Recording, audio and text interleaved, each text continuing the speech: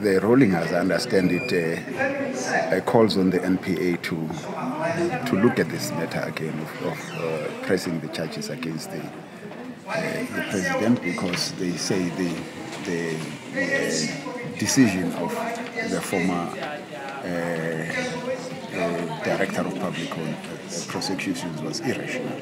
So it's incumbent upon them to, to, to look at this thing. Uh, it's a, it's a, an encumbrance on the African National Congress.